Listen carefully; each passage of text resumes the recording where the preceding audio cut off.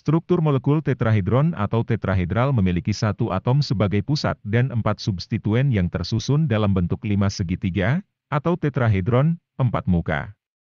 Contoh molekul dengan struktur tetrahedral adalah metana, CH4. Atom karbon dalam molekul ini terikat dengan atom-atom hidrogen melalui empat pasang elektron ikatan, tanpa pasangan elektron bebas.